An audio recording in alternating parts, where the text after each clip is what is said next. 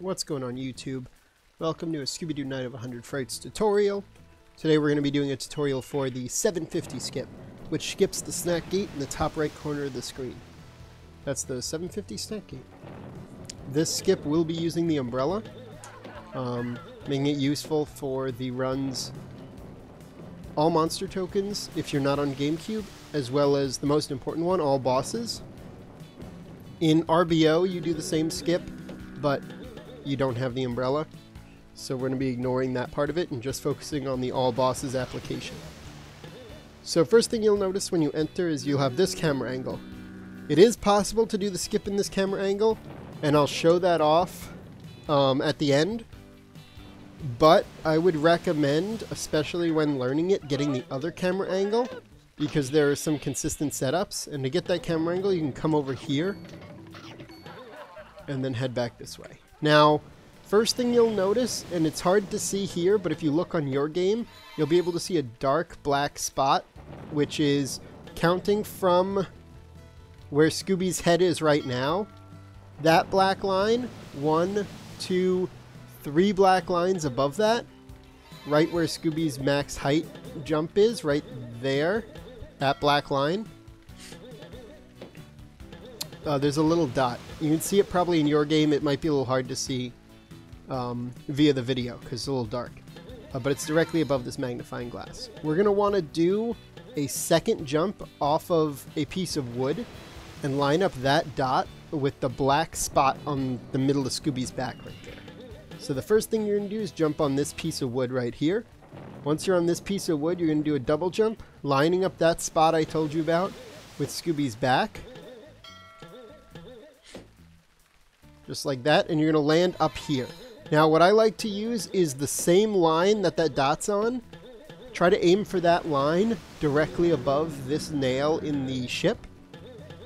Um, and above that nail in the ship, actually, if you do a double jump, you'll notice Scooby sort of hit his head up at the top of his jump. So that's that's sort of where you're landing. So once you land up there, you're going to try to dash or just run into this corner. And you'll see Scooby's shadow. You're going to try to clip into that by running sort of towards in the ship and then a little bit out. But you don't want to run too far out or you'll clip out of the whole thing. And Scooby will wind up clipping into here. And now once you fully see Scooby's shadow, on the back wall there, you're clipped in. And this is pretty, this is a pretty solid area. You can't really clip out of it. Um, and if you jump in this area facing away from the, the ship, it's possible to get up this way. Um, now, if I can get back in here. Okay. So, sometimes you'll find it difficult to jump directly up to that area that, that I was jumping to. Uh, normally you're able to get it if you just face away from the ship and it'll clip you up. But what you can also do is you can also jump down this way if you're having trouble getting that. Um, and once you jump down this way, you can do the same thing over on this end, and I find that a little more consistent.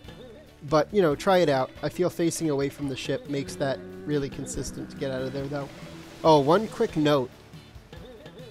If you're over in this thing, and while jumping, you super smash, it is possible that you actually wind up falling forever. And the only way out of that would be to pause the game and quit out. So, not not good. After you're done with that, there's like a bunch of collision on this uh, sort of sloped area. Just uh, find a piece of collision. So there's there's one here. And then like that sort of goes all the way down this way. So you should, if you run past this net, you should find a piece of collision and be able to jump up. Once you're up here, what I like to do is Scooby will change his stance right here. He's from like a normal stand to when you get to a ledge, he does this sort of hunched over stance. Get that stance on the edge of this hole here and then jump into the hole. And what we're going to do is we're going to umbrella against this wall where Scooby is right now. And we're going to hold up against that direction, holding almost directly left. Oh. Messed it up. You want to wait until Scooby's umbrella comes out and he falls below the hole. And then you're going to hold up against it and hold almost directly left. maybe a bit down until you come down here and you'll land down in this area over here. Now, the way to get to this door is you can actually just jump around the doorway like so and you'll get on that door there. And from here, if you're holding directly left, you won't fall off. And from here, you can jump up, and at the very top above the door, you'll actually find a place you can press X to enter the door. I don't want to do it because it's going to change the camera angle on me. And I want to show off one other thing. The other thing I want to show off is you can actually jump an umbrella against this wall, and there's a piece of collision against this wall that'll allow you to jump again. If you do that with the umbrella, you can essentially, instead of having to jump all the way around in one go, you can do it in several different jumps, which will make that a little bit easier. Now, if you want to do that, you get pretty much as many tries as you want at that, unless you fall in the water.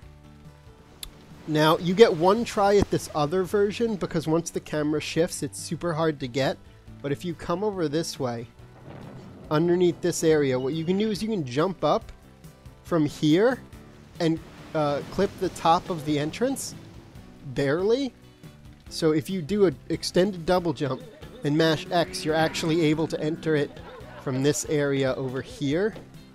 But you only get like one or two tries, is it? Because if you hit the thing and don't enter the door, like that, the camera angle will change, and that makes seeing what you're doing in here ridiculously difficult. So, if you get this camera angle, best thing to do is to do that thing I was showing you earlier where you jump all the way around, because then you sort of get this camera angle. Um, but you can essentially enter the door a little earlier if you do uh, the strat I was showing you before. Um, let me die and reset the, the camera and try to show that off one more time. Oh, well, you know, if I'm showing off the camera angle, I should probably get the correct camera angle first. And again. Oh, occasionally you can clip out of there, it's really annoying. It just means you weren't holding um, close enough to the ship, or you weren't fully on that platform up there. That looks... nope. Not good, apparently. Is that good? Yeah, that's good. Okay. Oh.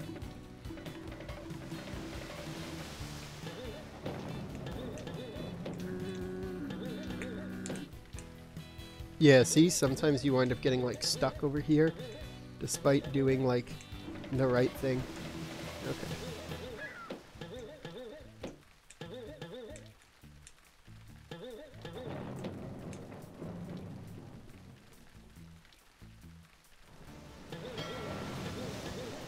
So as I said, you can do that jump from over here, but that's pretty hard to do, so I'd recommend first learning this way. And then if you mash X at the top of your jump, you can actually get into this room. Now, 750 skip is almost done. All you'd have to do normally is save and quit by hitting the mystery machine, saving and quitting. When you reload in, you'll be at the entrance of the room. However, it is technically faster to clip through this wall using Fred. And so what you do is you sort of hold diagonal down right while running in and then do short hops.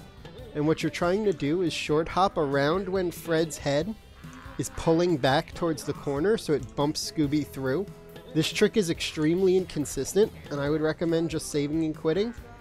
Um, it doesn't actually lose time if you can get this trick within a couple tries, but as I said, it's extremely inconsistent. Oh, there we go. We got it. It's extremely inconsistent and hard to do, but if you get it, it does wind up saving time because you don't have to quit out to the menu.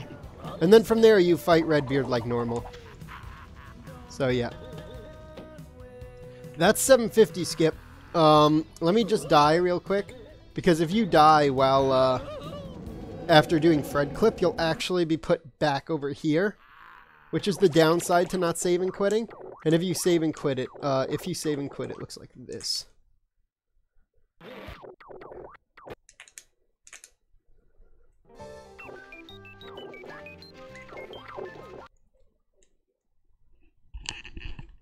And then on this save and quit, when you re-enter, you'll be at the front of the room. You won't have to worry. So that's 750 skip. Uh, hope this helped, Harsh. And everyone else watching. Take care. And have a good one.